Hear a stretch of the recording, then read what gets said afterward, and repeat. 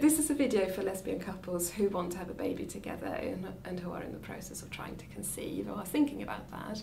And I've met a lot of couples like this in my research over the years. And so in this video, I'm sharing some of the practicalities that people have spoken to me about, also some of the legal issues that can be good to think about, and some of the emotional issues of donor conception.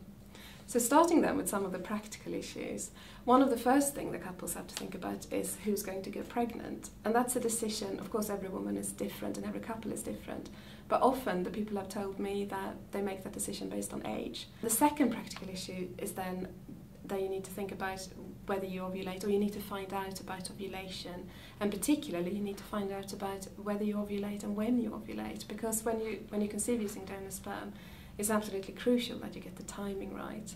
Finding this out can be really quite difficult so it's good to be careful about that you know how to find out. There are good traditional methods, there are also kind of new kits you can buy in the chemist, for example, that helps you map ovulation. The third issue that is really good to think about as part of the process and also when you're a parent is going to matter a lot is whether you have a known or an unknown donor.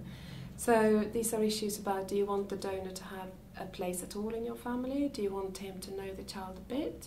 Or do you want him to be involved as a parent in your family? And these are uh, these choices really matter for how your family life is going to turn out later on, so it can be really good to work out for yourselves in advance how you, what you prefer and what you think is going to work for you.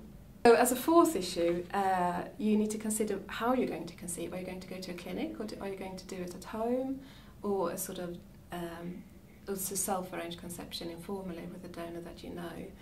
Um, it can be in different parts of England. There are my research shows that there are access for, for lesbian couples on the NHS to donor donor conception, but this can vary a lot. So it can be good to find out through your GP whether there is money available. Otherwise, there are private clinics. Uh, these are very expensive, which is worth knowing about beforehand. Um, and of course, if you go to a clinic, there is also access to sperm banks through those clinics, so then you don't have to find your own donor. So when it comes to the legal aspects of lesbian parenthood, the legal situation around legal parenthood is really quite complex. So it's worth thinking about and trying to find out about what what this means in your situation and what you want from the situation. So what I mean by that is what uh, it can be good to think about. Do you want you and your partner to be the legal parents? Do you want the donor to be a legal parent? If you go to a clinic, it's worth knowing that the, the legal framework is different uh, if you go to a clinic that compared to if you do it yourselves. So things that can affect legal parenthood is, for example, whether you're in a civil partnership or not, who goes on the birth certificate, whether that's you as a lesbian couple or whether that's the donor. And a third thing that also can can matter later on is whether the donor actually has involvement with the child, whether the donor knows the child and sees the child. So these are all issues to think about beforehand, just to make life easier afterwards. So the third area I want to talk about is the emotional issues and the emotional impact of using donor conception. And some of the issues that people have spoken to me about is, for example, the stress uh, of going through the process. The emotional up and ups and downs of donor conception can be really quite difficult to handle, so it's good to be prepared for. Uh, don't let it put you off, but just these are just issues that are good to be prepared for beforehand. Um, there's also the issue around that it can be quite hard to find people to talk about donor conception to because it's quite socially unusual and we don't often talk about conception uh, socially and culturally. And so therefore it can be good to maybe seek advice online. There's quite a lot of forums where people discuss these sorts of issues and where lesbian couples meet to talk about the issues of donor conception.